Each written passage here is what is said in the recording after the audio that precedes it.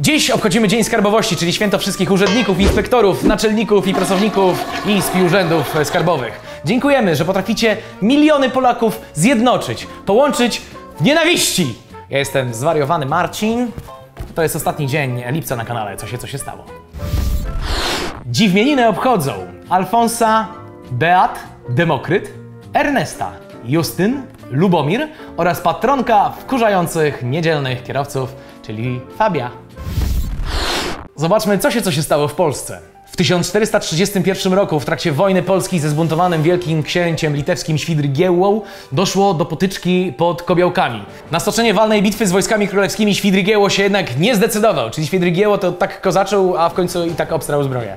Świdrygiełło, nigdy nie będziesz Jagiełło. W 1959 roku Ministerstwo Handlu Wewnętrznego wydało zarządzenie, zgodnie z którym poniedziałek stał się dniem bezmięsnym. Vegan Monday w PRL-u. Ale byliśmy postępowym krajem.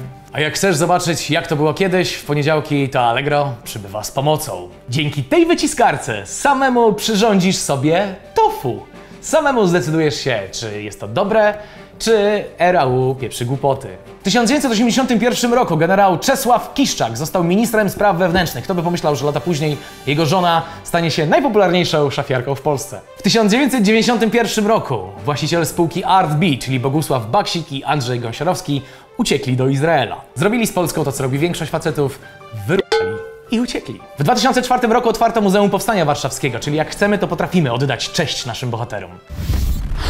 Czas na kartkę ze świata. W 904 roku Saloniki zostały splądrowane przez Arabów. Trzeba koniecznie tam wysłać jeden z patroli ONR. W 1498 roku Krzysztof Kolumb zobaczył jako pierwszy Europejczyk wyspę Trinidad. Podobno czarno to widział. W 1932 roku NSDAP wygrała wybory do Reichstagu, uzyskując 37,7% głosów. Tam też ludzie mówili, że nie głosują, bo mój głos i tak się pewnie nie liczy. No i kur... się przeliczyli. W 1936 roku w Norwegii otwarto drogę troli. Droga troli to brzmi jak jakiś quest na Twitterze, albo te komentarze pod spodem. Sprawdzamy, kto urodził się w ostatnim dniu lipca.